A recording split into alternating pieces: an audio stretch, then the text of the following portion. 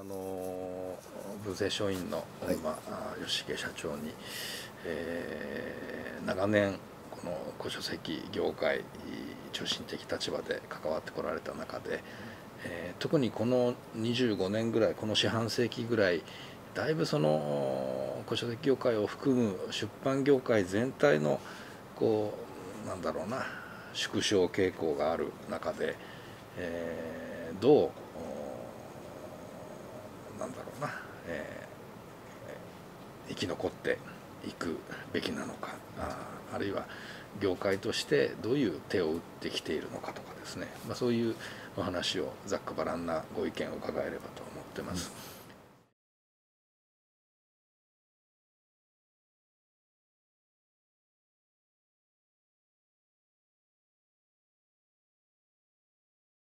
私が今になって思うのは、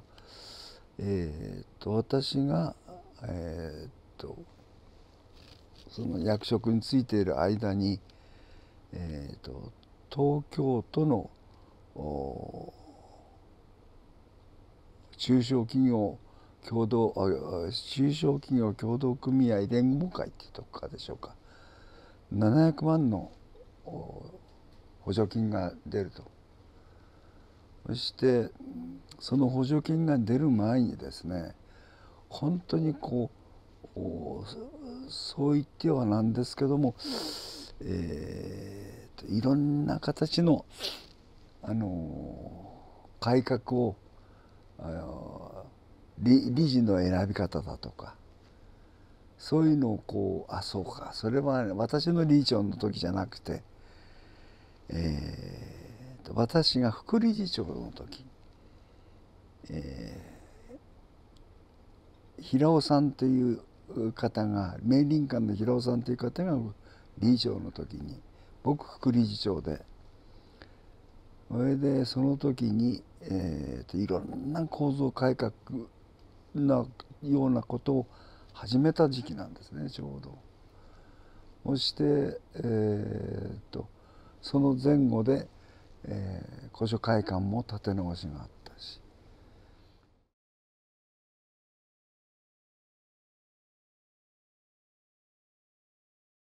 平尾理事長の時に本当にこう社会が本当にどうだか分かんなくてそしてインターネットっていう言葉はみんな知ってるんですけども誰もどどうやってやるか分かんないし大企業でも聞いても分かんないっていうような時代。IIJ って言ったかな。慶応の何ていう先生だったかな。えーと、そうインターネットの専門家がいて。それから私もあれは確か日本図書館大学情報大ですね。今なくなっちゃったんです。今筑波大になっちゃったんです。そこの山本先生とか個人的に知ってたもんですからそういうインターネットを個人的に使っている人たちがあってしかしそういう先生たちはそれを商売に使うってことは教えてくれないわけですよ。それで IBM の知り合いを訪ねたりいろんなとこ行ったんですけど結局分かんないんです。それでどうもしかし何とかしなくちゃいけないっていうんでえー、っと URL 交渉 ORJP というそれだけを取っとかないとどうしようもないっていうんでそれをもう理事会で決定してそれを取ってそして、えーと、そのもとにぼつぼつ始めたわけです。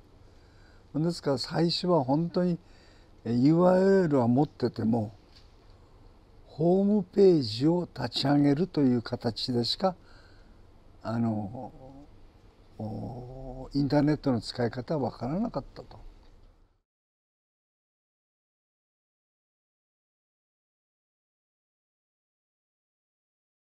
えーと、口説いて回るよりも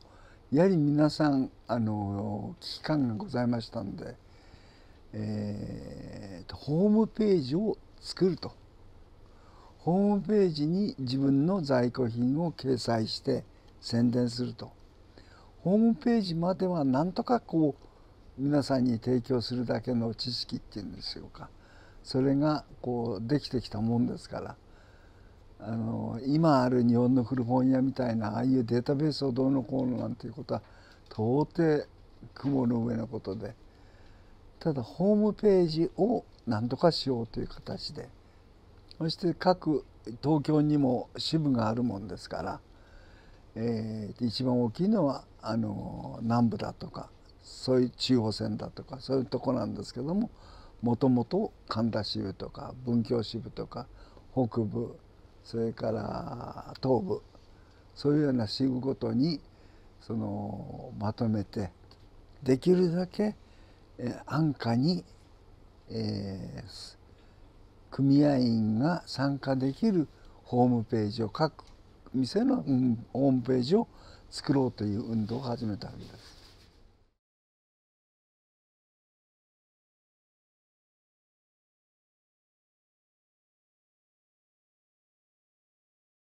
はいはいそうですそうです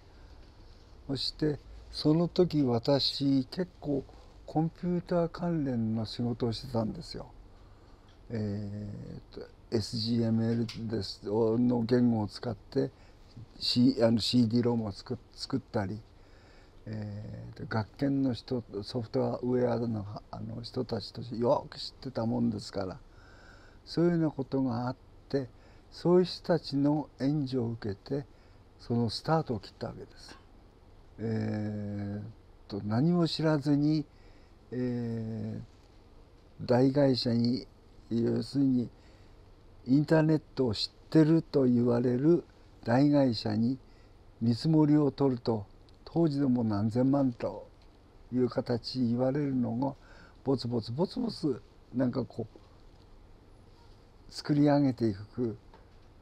こう手段ができたわけですね。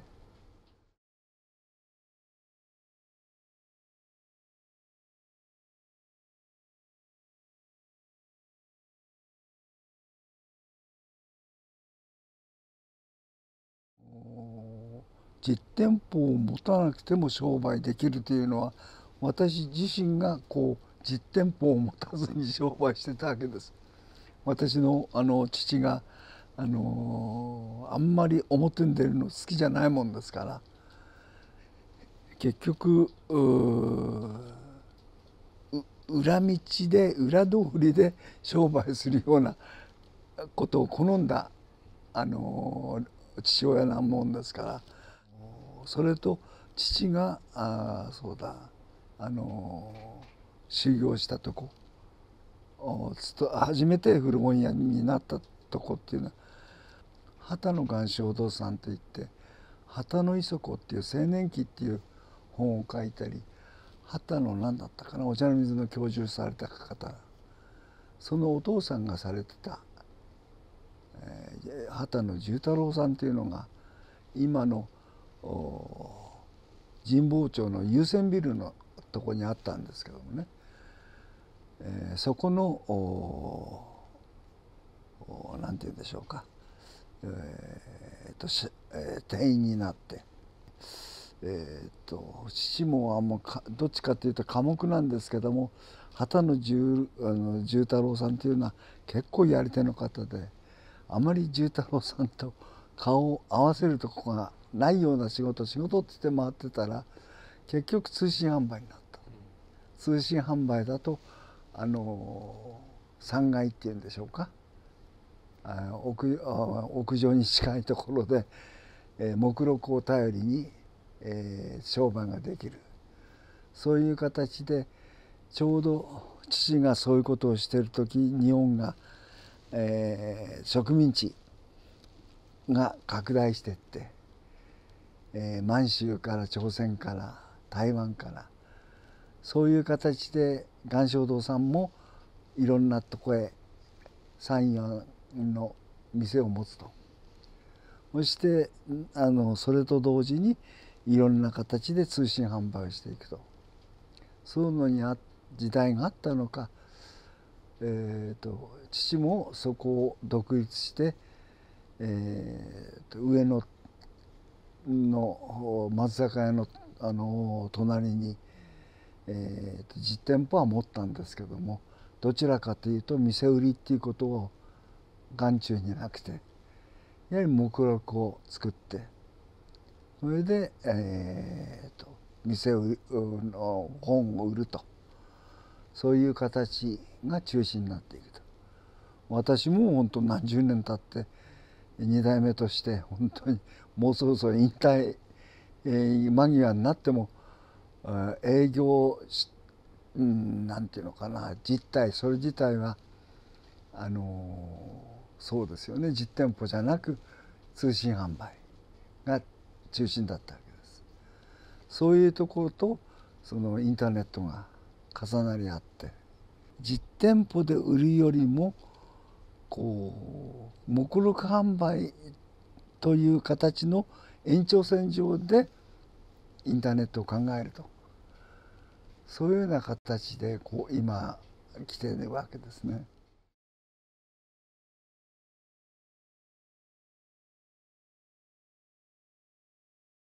そうだと思います。それと結構通信販売ですからやはり見てもらって買ってもらうわけじゃないですからやはり信用っていうのがやはり見てもらって買うよりも非常に神経使うしその辺のところがやはりこうより一段厳しいかなと思います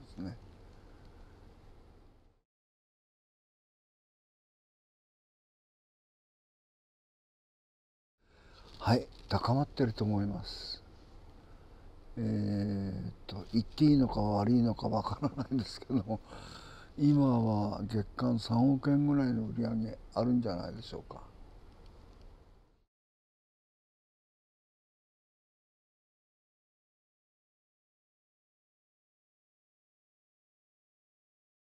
えー、っとやはり私が副理事長して平尾さんのもとで副理事長してた時がちょうどあれですねブックオフの誕生なんですよ。そして、えーと、三菱からお金三菱商事からお金をもらって、えー、ブックオフという会社が、えー、こういうことを始めるというちょうどスタートになった時なんですね。それで、えーと、みんなそのやられるんじゃないかと特に、えーと、店頭しかやってない、えー、駅前の古本屋さんあるいはそういう一般書専門書じゃなくて一般書をされてるあの本屋さんっていうのは本当戦々恐々としてたと思います。それでもう一時期は本当にすごい勢いでブックオフが伸びましたんでそしてまあ10年ぐらい経ちましてブックオフが大体こう息石って登ってったのが一段落したと思った段階で彼らは専門性がないと。ただ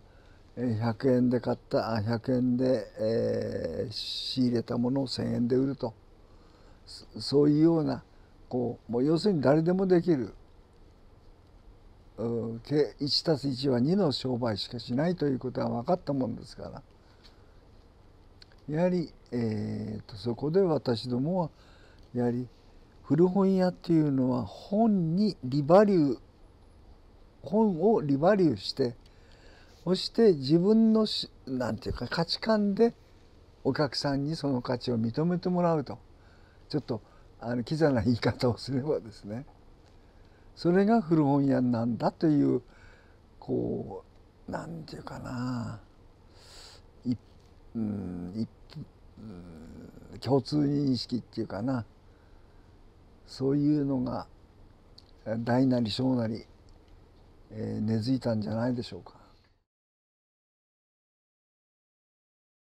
そうですね。それのその走りをこう気づかせてくれたのが先ほど申し上げました、えーと、東京の古本屋というあの東京都の中央会、えー、で、えー、700万の補助金を得てそれで調査会社にお金を出して、えー、こういうご覧になられました組合で。東京の古本屋という報告書報告書、あれを作ってそれであれの中に生き残る古本屋が生き残れるのは要するに専門性だと。そそれ一つじゃないにしても専門性は必ず生き残れると。そういう報告書ができたもんですからそれでブックオフも結局その線の上でだんだん修練されていったとそしてももちろんその間には、えー、っと古本屋さんがブックオフ行っちゃ自分のこう根になりそうなものを安くバーッと買ってそれで自分の店頭に置くとかその反対もあったと思うんですよ。それであのブックオフ専属に動いてる回る古本屋さんもあったと聞いてますけどね。はい、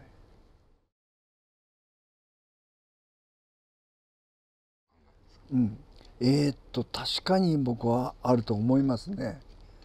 確かにメルカリみたいに、えー、っと個人個人の相対取引っていうんでしょうか。しかし個人個人の相対取引っていうのは結構不安な部分があると思うんですよ。その人が信用を受けるかどうかそれはメルカリが介在したとしたって最終的には個人個人ですよね。そこのところで例えばあのここのところに図案が入ってたと思う図案が入ってないしいけない図案がなかったとか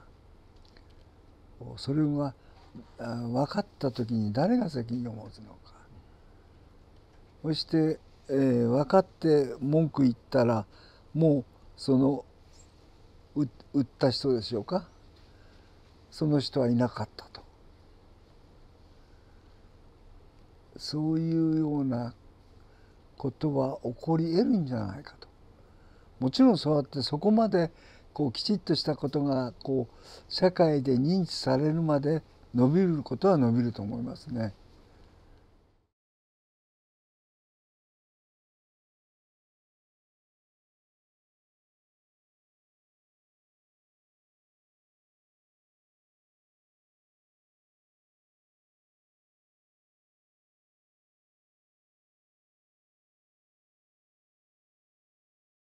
なんかそういうんでインターネット側でもそういう偶然の出会いをどう演出するかは考えなきゃいけないと思いますね。えー、で私のところではここの店に前にここから20メーターぐらい行ったところのあのビルの1階で、えー、借りて店舗を持ってたんですけども入り口がこう狭くて本当に2メーター幅2メーターぐらいのとこずっとそうですねあれ56メーター入っていかないと中に入れないようになってたんですね。そうするとどうしてもこう荷物をこう積み込むんで、えー、と本当に、えー、雑本をそのデスクの下にバーッと並べとくんですよ。それでももう本当に東大の先生が来て本当本が好きなんですよねそれを丹念にめくるわけですよ。そのお金じゃないんでしょうね多分私どももお金でこう置いてるわけじゃないんですけども処理がまだのものだとかそれからしばらく処理しなくてもいいものとかいろんな形でそこにそこにずっと置かざるを得ないただ捨てるには惜しいというようなものを含めてですねそうするとお昼休みに自転車で乗ってきて東大の先生がそれで一生懸命こうやって見ていくんですよ。もうああいうのは完全にそういう形ですね。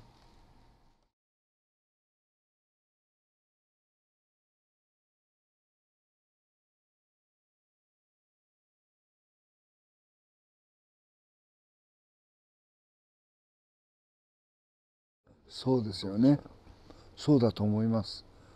本当にその新刊屋さんこそインターネットで買えますからね。インターネットで均質なものを買うにはやはり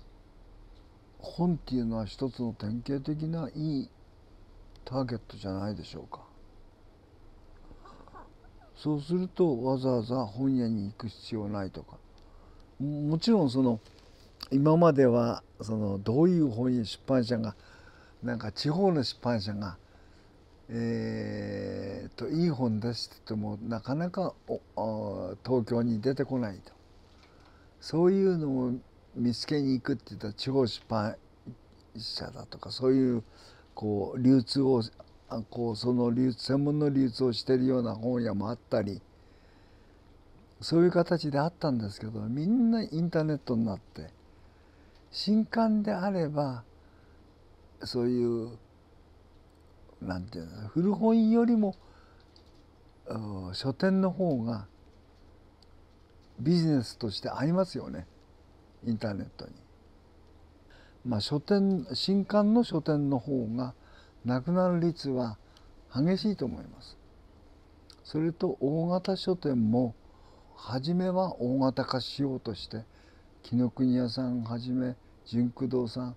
ね、いろんな形がこう大型化していたんですけどもここ最近大型化っていうのは聞かないですよね。そうすると多分インターネットにより適合するのは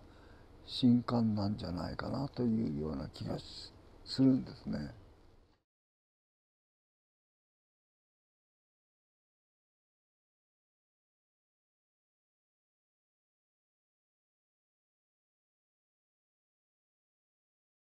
うん、うん、まあもちろんそこもあると思うんですけどもそこ以前に、えーと、要するに学問的なもので理論書というのはもうこれだけいろんな形でて天変地異じゃないですけどもあの社会の変動があると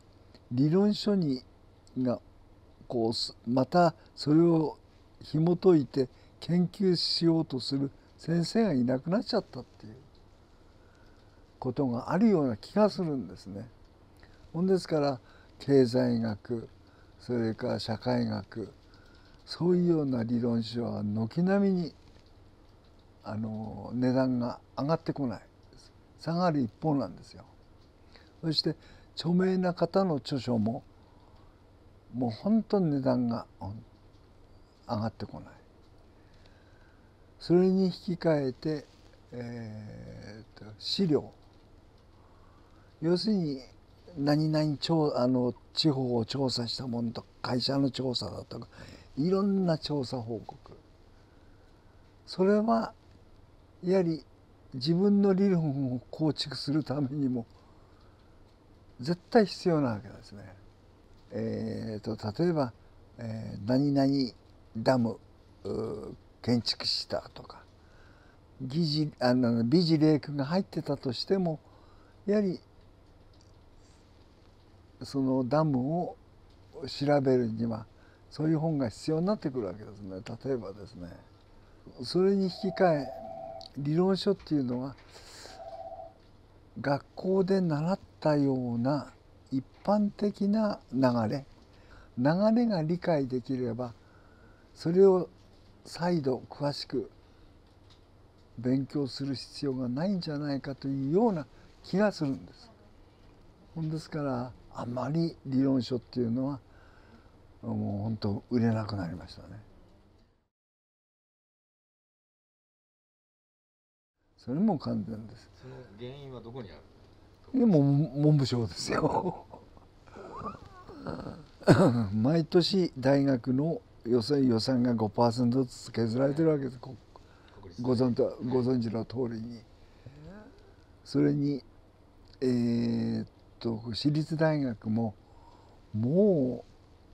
う値段学費の値上げしたって限界ですよね。そしてもうようやっとそれで限界だっていうのを気づいて今度の内閣になってからもう大学に金出さないと日本は潰れるみたいな言い方をし始めたわけですよ。ちょっと前まで、うん、国立大や文系学部はいらないそういらないいらない本当にもう典型ですよ。それでそういうことを言ってた人たちは今何してるんだと。本当失策ですよ。まああのし、えー、本当ちょっと許せるかなと思うのは日本だけじゃなくヨーロッパもそういう傾向があったような気がしますね。アメリカは一流大学はその名誉のっていうかな何ていうかな一流大学のステータスのために卒業生がバンバン金出すからい。いろんな意味でステータスは維持されてそれで卒業者もそういうような形で再生産されてそれが図書館の書籍の購入費の予算も別に減らない減らないと、うん、だからそれはそれであのいいのかなと思うんですけどもアメリカだって地方大学いっぱいありますからね。しかしうちで、えー、輸出してるアメリカの地方大学っていうのは本当2 3 0ですよね。やはりそれ以下の大学には、えー、アジア研究をするっていう人が、えー、職業として教える立場でいてもお金を使って書籍を変えるっていう人はごく稀だと思う。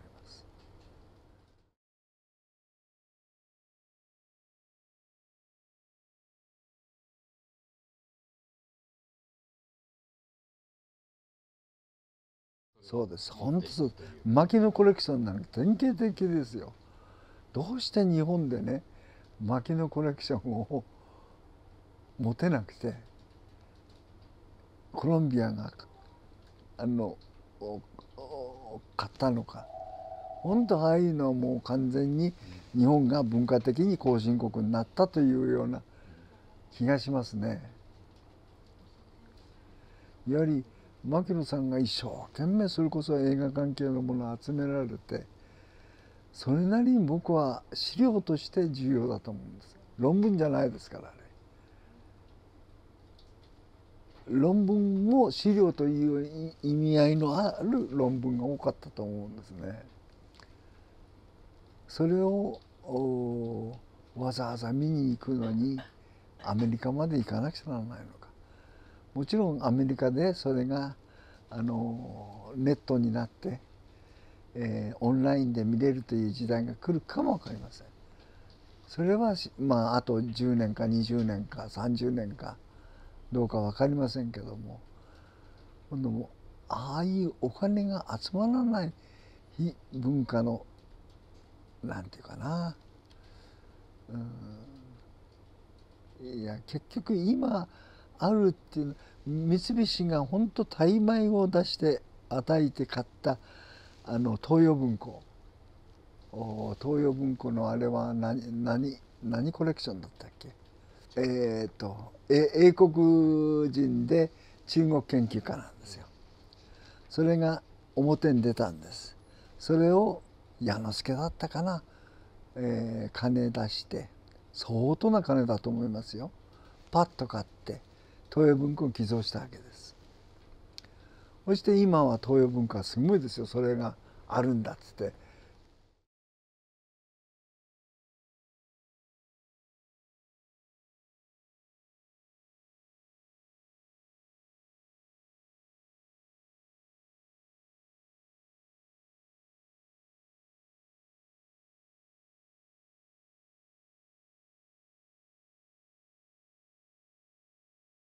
結局お金のあるところっていうのは経済的に大きいところですよ。そういうところが税金を払わなくて済むって言えばすぐ出すと思うんですね。まあ税金が安くなるって言えば出すと思うんです。だからトヨタが、えーと、要するに利益の1割でもあのなんか文化貢献に出せば安くするよって言ったらそれはトヨタもう新物類で出せるところをね後世に残るようなとこを探すと思うんですよ。それと個人の大儲けする人って必ずいるわけですよ。そして僕がびっくりしたのは、えーと、プランゲ文庫ですよね。プランゲ文庫をやってる時にラウリー館長っていうのは図書あのメリーランドの図書館長だったんですけどもあの方にいろあまこうご飯を食べながら聞いてて、えーと、私の仕事の半分以上は寄付金集めたって言うんです。ほんですからああいうメリーランドってまあ大きい大学だけども州立ですよね。州立でもやはりこう自分のしたいことをするにはやはりえー、自由に使えるお金は募金で集めると。それともう一つシカゴ大学の奥泉さん。はい奥泉さん。あの一緒に奥泉さんからあの最後になって、えー、奥さんが日本人でお要するに事業が大成功して245億かな図書館にバーンと寄贈した方がいいんですよ。そういう人ももちろん税制で優遇されるしそういうのっていうのは日本聞いたことないですよね最近。多分日本だって探せばあるいはある程度それだけの優遇があれば何とかしたいと思うもののなんていうか自分だけがその儲かるっていうだけじゃなく社会に還元する一つの手段として何とかしようと思いに至る人たちはいると思うんですよね。そして日本はその代わり終戦後に本当三井三菱をはじめ三井なんていうのは本当大量にアメリカに買われたわけです。そういう書籍地図。それからそして買った相手がスタンフォード大学だとかあ UCLA あ UCLA じゃなくて UCB か。バークレー。それにはすごいやはりねそうそういう名家な名家の持ってたものが相当入ってるんですよ。そうですよね。フェノロサの時代から本当に日本はね文化をねただどうにもただとは言わないけども持っていかれてますね。スポールディングコレクションっていうのはスポールディングってアメリカの、えー、スポーツ用品だったかななんかのオーナーで、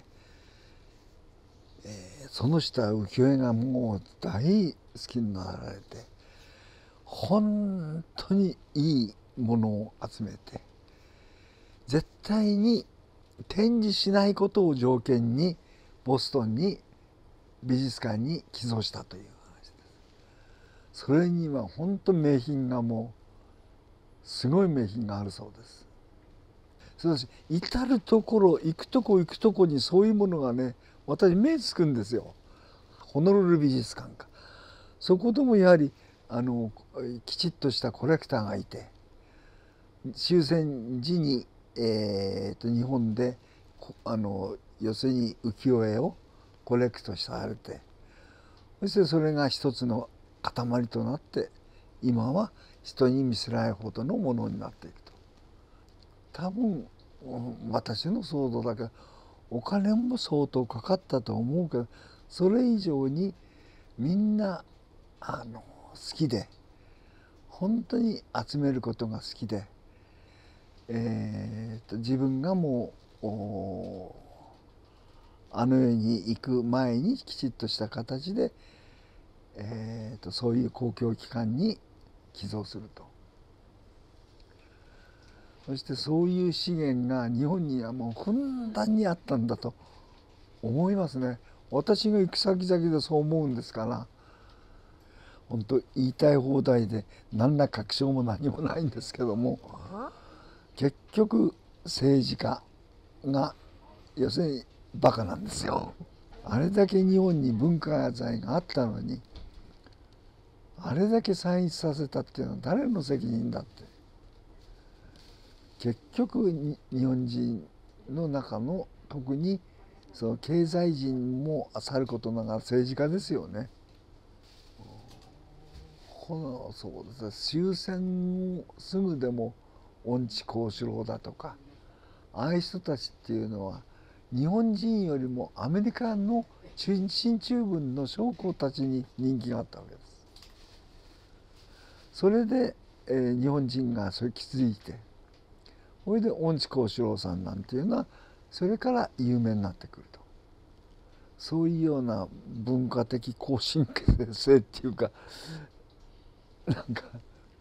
申し訳ないけどもいやそれはもう完全に大学にお金を出すことですよ。それに先生たちを含めて学生が、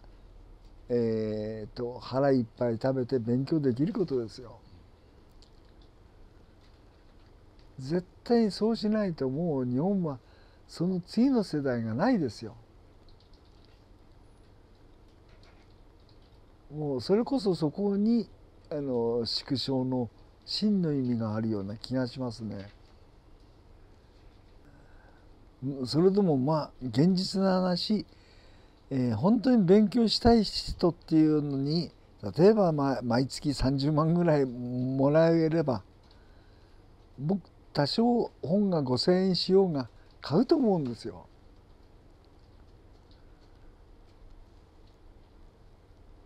うん、あの毎月1冊ずつ買ったって、えー、12冊あたまりますからねやはりそういう金銭的なバックアップが必要なんじゃないかなそしてそれにはやはり経済的なバックアップを誰かが担わなくちゃいけないということだと思うんですね。でももう我々も担いたいと思うけども赤字出して担うことできないですからね。それに基本的にえーと、私立大学の学費が高すぎますよね。僕が地方の親だったら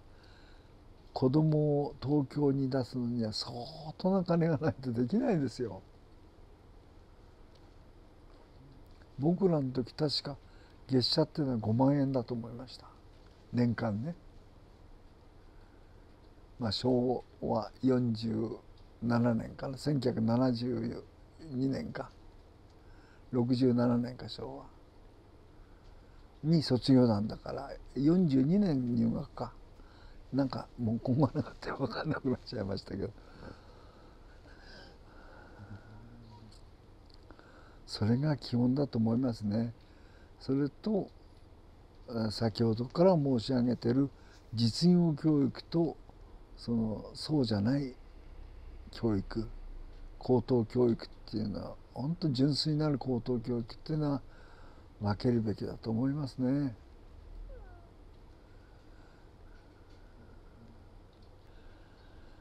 本当にそうですね。人ですよね。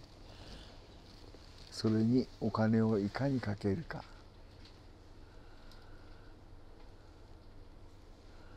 やはり無駄だと思うぐらいかけないと人は育たないですよ。教育にお金をかけない限り